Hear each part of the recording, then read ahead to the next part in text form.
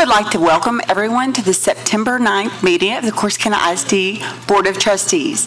This is a regu- regularly scheduled workshop, and all items that will be discussed have been duly posted. While this is a meeting in public, it's not a meeting of the public. If you wish to speak, please register in the lobby for audience for guests and follow the instructions on the speaker form. The board's role is to set goals, approve personnel and budget, make policy, and provide oversight. We are not here to solve or manage individual problems. Management is the responsibility of the superintendent. As a board, we believe we must educate every child, give every child the greatest opportunity to learn, and to provide a safe and secure environment mentally, physically, emotionally, and academically. And these are our core values. We thank you for your interest in the students of CISD.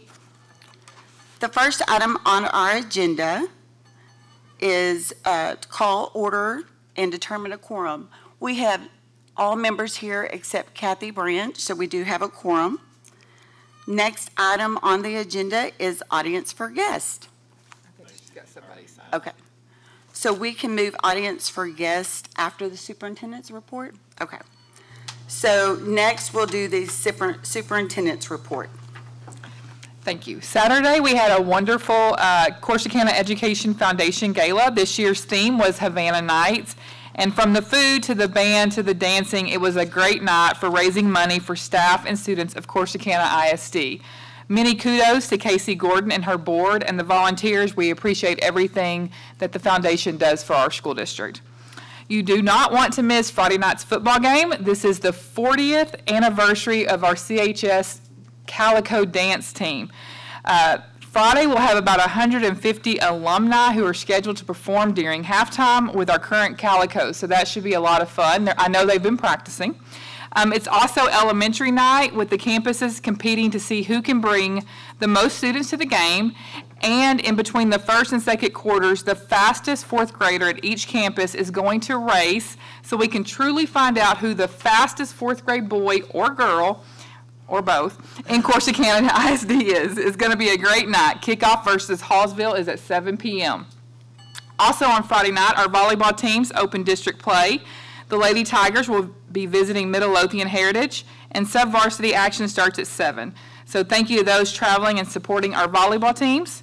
And then this Wednesday, our CHS choir will be performing at the City of Corsicana annual 9/11 Memorial Ceremony. We're honored that our choir has been asked to perform, and we hope the community comes out to support them as well as remember 9/11. The event is scheduled to start at 10 a.m.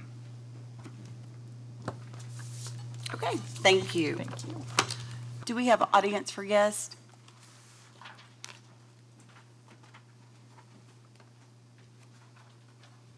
Thank you. All right. Uh, Mr. John Gabano, if you come up. And I'm going to read the audience for guest um, comment. The CSD Board of Trustees encourages comments about the district from citizens of the district, from district employees, or from other members of the public. Anyone wishing to speak may do so at this time. The board asks that each participant's comments pertain to public education and be no longer than three minutes per person. The board also respectfully requests that the speaker refrain from mentioning other students or parents and staff members' names when addressing their concerns. Under the Texas Open Meetings Act, the board is not permitted to discuss or act upon any issues that are not posted on the agenda for tonight's meeting. This means that the board members are unable to deliberate, ask questions, provide you with a response, or take any action relating to your comments. If an issue mentioned is listed on tonight's agenda, the board's deliberation of the issue will be deferred until the appropriate time during the meeting. In addition, the board has adopted a complaint policy that are designed to secure at the lowest administrative level a prompt and equitable resolution of complaints and concerns. Complaints brought by employees, students, or parents may be brought in accordance with our local school board policy. Each of these processes provide that if a resolution cannot be achieved administratively, the person may appeal the administrative decision to the board as a properly posted agenda item. Copies of our district's policy on public participation in meetings and filing complaints can be found on our website. If you need assistance with these policies or processes, please call Merrill Harrison in the superintendent's office. So you will get three minutes. Uh, Mr. Farmer will time you, and then he'll give you a one-minute uh, notice once we get there. Yes, ma'am. Go ahead. Uh, Good evening. My name is John Cabano. Uh, My stepson uh, goes to the CISD over at the high school, 10th grader. My kids went to school here. Uh, I was, I'm retired law enforcement here in Navarro County, spent my whole entire career here. One of the things that I heard was uh, the law enforcement for the school district not taking, or allowed to take their cars home. Uh, If y'all would oblige me, uh, write these words down, uh, if you would. It's not what if, but when. If y'all could write that down. It's not what if, but when. And what I mean by that, I've worked all over the state of Texas in law enforcement, and one of the things we had in our meetings is it's not what if, but when. Uh, and what I mean by that is if your law enforcement for the school district is not prepared by having their vehicles, which the vehicles have the tools that they need. Per se, we call them our lunchbox, our toolbox, uh, whatever you want to call it. Uh, my understanding is they have to keep the cars uh, at the school. But in doing so, they have to take their weapons out of the car, patrol car, and put them in a personal car. So it's not what if, when an accidental shooting might happen while pulling their weapons out of the vehicle and putting it into another vehicle, and vice versa when they come back to work. Uh, the other thing is if something happens in the school district, it's not what if, but when something happens, but they don't have their patrol car with them, uh, and they have to go to the school to get their car versus going straight to the situation. So uh, I just ask the board to reconsider uh, uh, this thought uh, process of uh, having the vehicles remain at the school. You have one minute. Yes, sir. Leaving the vehicles at school. Uh, I believe the officers need to take their vehicles home. I took my vehicle home for 26 years. Uh, to save money, understand that. I truly do understand that. Uh, but I'd like you to think about uh, officers being always ready and alert and having their tools. My main concern is the guns in and out of the vehicles. Uh, there have been accidental shootings across the state by doing that. Uh, and then also not at the ready, in, in meaning they need to be in their patrol cars if something happens at Carroll or something happens at the high school or versus I got to go get my car first. So uh, it's not what if, it's when. Okay? So that's it. Thank you. All right.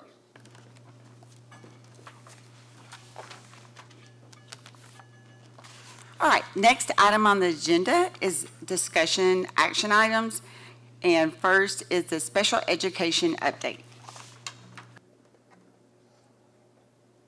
All right. Ms. Howe, Madam President, members of the board, thank you for letting me speak tonight. Um, so we're just going to kind of look at really quickly, just kind of, it's almost like the state of the state and then specifically into Corsicana ISD, just some data, just some new initiatives coming in to kind of address these trends that we're seeing. Um, and so we'll st- start. Okay, so this information is um, state-based.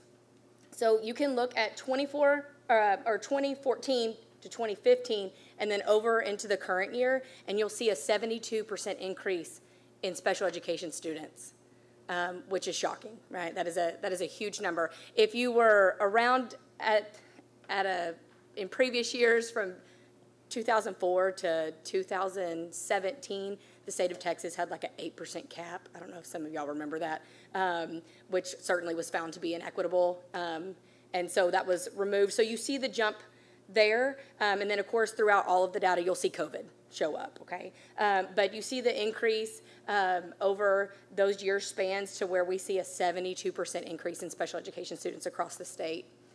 Um, this graph shows how it continues to increase in the identification, which we'll look at Corsicana ISD specifically, but you can see on the orange line that that's just the student population within Texas. So it's remained fairly consistent. I mean, our state grows, but it's nothing shocking.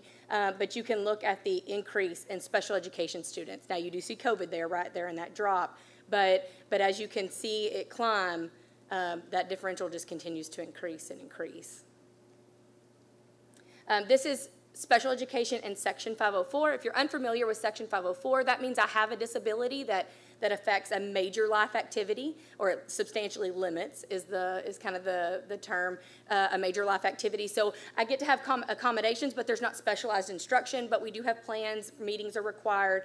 Um, you can see the difference now that almost. Um, I mean, you can almost see like a 10% increase you could see of those combined two, where we're really, really close to a fourth. Okay, that, that's, that's a pretty big jump. Um, this is total evals. Now, some people say, well, what's the difference in a student coming in and an evaluation? So when a student comes in, we have certain timeline requirements that are required. It's where our diags come in. They have full testing for that student for a full individualized initial evaluation. Um, and you can see the increase there. Uh, last, the last, that would have been two years ago uh, because we're pulling that data from last year now. Um, I will tell you that last year we had the highest amount of evals that we've had in years.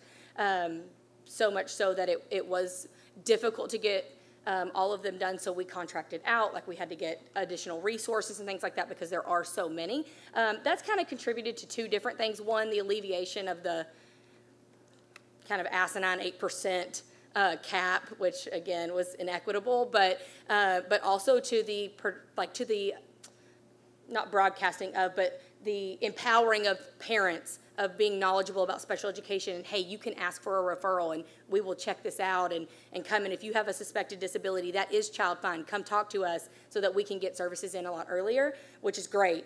Uh, but you do see the increase there um, so dyslexia. Dyslexia has been a hot button topic for the last probably about four years. Um, it has made a full swing over under um, special education. Uh, the reason that is because the federal government kind of came into the state of Texas and said, yeah, you're not identifying dyslexic students appropriately.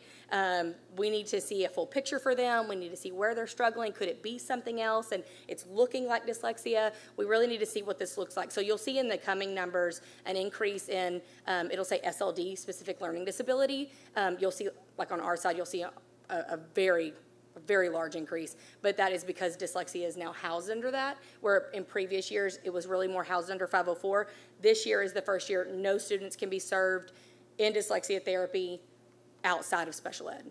Okay, so once they complete therapy, if they're good to go, they don't need any more specialized instruction, then they can move back to 504. Um, as a dyslexic, I can say that you have it your entire life. It is what it is, but you learn those coping skills and then you move through that. Um, so you can still stay under 504 if you wish and get those accommodations. So um, you'll see the dyslexia under 504 in green, but once again, you see the big increase. It's moving up, moving up. So this is also dyslexia. Um, you will see this big SPED increase where it's almost 50%. Okay, so this is eligibilities. Um, so under special education, we qualify under 13 eligibilities. Um, and so this is statewide. We'll look at Corsicana in just a second. Uh, but you see the increase there under SLD or specific learning disability, um, that that is on the rise. Now, we of course have our own trends, right? Like we, we look at the statewide trends to try to plan, try to create some initiatives to curb some things, be proactive. But Corsicana ISD, we have our own different struggles, different proportions of students. You know, we want to make sure we're, we're being appropriate to Corsicana too. So our numbers look a little bit different than that, but the trends on the whole are, are fairly similar. Um, autism, you will see a big increase with Corsicana, and we see that uh, statewide as well. Okay, um, the state of Texas prides itself in this um, in this statistic. Um, we focus very intently. It's one of the assurances that we read in every single ARD um, that students will be educated with their same age peers as much as possible. We want inclusion, we want them in least restrictive. Um, so you will see the national average there in dark blue, and then us as far as the, the rate of students in general education, special education, special education students in general education classrooms, um, which is great. These, uh, the next two slides are just testing results, so reading, and then there will be math. Um, we know that just kind of statistically and over longevity, there or longitudinal data shows that you know special education students are performing below their same age peers, um, which is not ideal. The point of special education is that we are intervening, we are we are putting in specialized instruction so that they are meeting at the same level as everything else. If we are if we are intervening appropriately, we're addressing need, and so they are being successful. But across the state of Texas, we're just not seeing that happen. So, like within Corsicana, so uh, we we've tried to be innovative and be proactive in that in addressing those needs, especially on our instruction side. That would be Mr. Haley. Um, if you know him, he is great. Um, and then there is math. So you will see math is is again you see that big differential. You see the increase of economically disadvantaged students, which is something that we focus on heavily in Corsicana. Um, but you do see that kind of steady track of special education students performing at that differential. Okay, so Corsicana specifically, this is in 2020. So I use the same date on each one of these slides to see kind of where we were at um, in September of 2020 and then where we are today. So this just kind of just kind of get this in your mind of four years ago, we were serving 445 students. That is by eligibility and by campus. Um, some of you might say, well, why are there private schools on here? So part of our proportionate share agreement under IDEA for federal funds is that we also serve, um, or we have proportionate share arrangements essentially for certain services for, for students that are either homeschooled or, or parent uh, placed into private schools. Um, and then we are also held by Child Find to, of course, evaluate students. So, um, and we want we want to know that because then we can really address instruction. So this is four years ago and this is today. So 1,367 of our students are now served by special education. Again, you can see that big uptick in certain um, eligibilities. And then across certain campuses, that's information that we use to really dive down deep into that data and figure out if we can see some trends, what's going on, what's going on at certain elementaries. Is it something that we can address? Is there a, a new initiative that we can put into place? Uh, but on the whole, you just see a huge rise in need. So this is eligibility increase. Um, so you can see the two connected together from 2020 and 2024. But on the, what I would like you to bring your attention to is on the percentage increase. So you see that big SLD percentage, over 400% increase. Um, everything is over 100. I think the lowest was 120% increase. You see a, you see a large um, uptick in autism, which we knew, right? We said that with the state. But within Corsicana ISD, one that we see a large, large percentage increase to is emotional disability. In years past, it was called an emotional disturbance. That's changed this year, which is good. Um, we shouldn't use that term. So um, it's an emotional disability. Um, that's where we, um, that could be anything from, so under that, under that label, there could be anything from I don't react really appropriately to normal situations, like my reaction in normal situations is different than my same age peers, all the way to I have really big behaviors. So um, you can see the, the biggest increase from that. So, um, and then just something to kind of bring attention to is over 1,400 ARDs were processed last year. That is a ton of ARDs. Um, so an ARD is that meeting that happens every year um, for our special ed students that, that says, hey, this is a good plan. Let's look at this plan. How are they doing? Let's look at those present levels. Let's build some good goals. Let's establish services based on those goals. Um, and then anytime a parent or our staff says, hey, we all need to come together. We need to come together and evaluate this plan, see if we need to make some adjustments. Um, and they all have to be processed through the DIAGs and the clerks and all of the paperwork. And so over 1,400 was processed last year. It's pretty impressive. Our clerks are amazing. Um, but it shows to the need, right, to that continual update of our students. So some initiatives to address those things. This is just a, a quick graphic of not specific to SPED, this is all students, um, but we confirm the impact of student attendance on educational achievement. So course failures were attributed to 67% of the reason, so the reason I failed a course, 67% is attendance. Okay? So, of course, on special ed side, I liken that into, hey, you're not getting your services. We can't specialize things if you're not here, right? So, on our gen ed side, it's, hey, you're out of class. You're, you don't know what's going on. And we all know the funding that's connected to all of those things, right? Um, and so, there's a lot of different things that attendance touches. And so, um, one thing that the district has, has um, put into place, and you've heard about it a little bit. Mr. K spoke about it, Ms. Howe spoke about it. Is we've, we're partnering with school status to really take a proactive approach um, to attendance and a positive approach to attendance. So yes, do they send out our tardy letters and we have that excessive um, excused absence letter and things like that? Yes, that's kind of more of the hey, you were absent let's get you to school, but also really taking a positive approach and really incentivizing attendance. Hey, it's a great thing to be here. Attendance is important. We need you, you here to get those services. Um, and so that is a that's going to be a great. We're excited uh, to start that. That rolls out most likely next week. Um, we're kind of finishing up some coding in the connection to it talks to Skyward, and anytime two softwares talk to each other takes a minute, right? Technology, uh, but anything from parent letters, social media posts. One thing that we're really excited about is is they talk with Ms. Howe, and she puts her um, kind of impact statement on attendance, and then that letter goes out to all of our parents. Um, and so just really creating that attendance in our mind. It's important for my student to be here. What we have found since COVID was that the priority for attendance has just started to wane away um, from parents. It's like, eh, you know, it'll be okay. Uh, when in reality, no, one day lost is a, is a problem. We need you in school. So that's one initiative. The second is definitely innovative, um, if you think about what innovative kind of means at its core, uh, because it's somewhat AI generated, partnered with clinicians. So, one of the trends that you saw was our extensive growth in ED eligibility, so emotional disability, right? Um, one way that we can address that for everybody, kind of curbing that, an effort that we want to put before they get into special education, right? If we can address this before it becomes a mountain, if we can address it at the molehill, then, then that's better for kids. And so this is alongside, it will be implemented in our um, intermediate, middle, and high school. It is quite literally an app where they are able to have discussion. There is a ton of background that happens on, on monitoring and running algorithms and making sure if a student is in crisis or in need that we're addressing those things.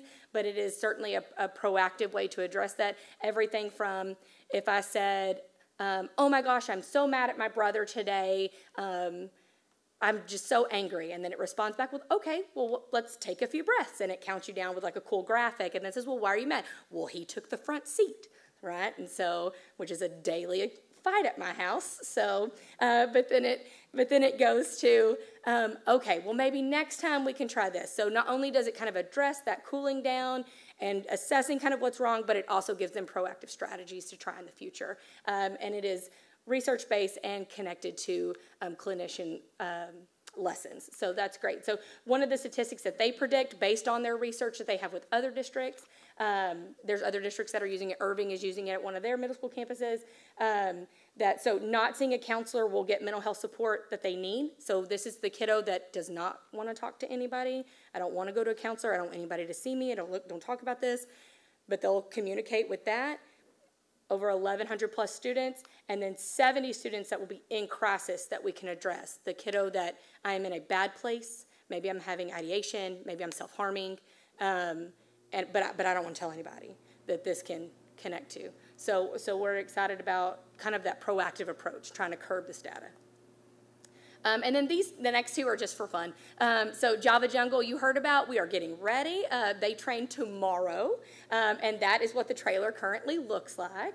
Um, and so we are super excited about it. Um, that is our 18 plus transition program that will be running a coffee trailer for us. Um, and so when they finish all their training, we look forward to having it at campuses during lunchtime for teachers or and then potentially at maybe even some football games or something like that. So we're excited about that. They can earn a lot of um, really good life skills, but also a little money. So, and then of course December is is Willy Wonka for Penguin. So that's just so you get it on your books. We're excited about that. But any questions? Kind of just over the data or anything like that? So looking, looking at the data and how things have doubled, um, like speech, the, the kids Yes. with, um, in speech, um, and the, and the other ones that have doubled. Have we been able to adjust our, because I know we have speech therapists. Sure. So it looks like their caseload has doubled. Yes, so that's been a something. Um, it is very difficult to find um, SLPs. And so we went to work this summer, um, and Mr. Doring and I were able to kind of create some pretty good incentives for retention or for um, attracting people. And we got somebody who is outstanding. Um, she actually came from a different state, but was moving in the area, and we jumped on it. So we actually added an SLP this year.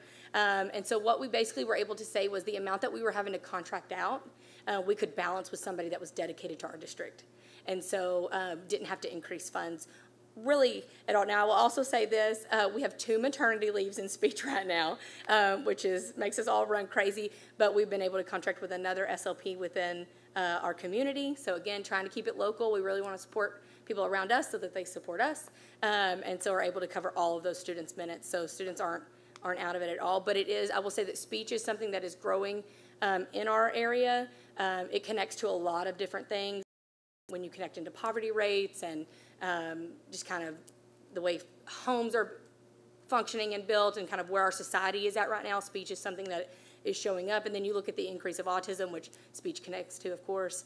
Um, so we're definitely, it's definitely something that we say, this is the trend, we've got to address it before it becomes a situation. Yeah.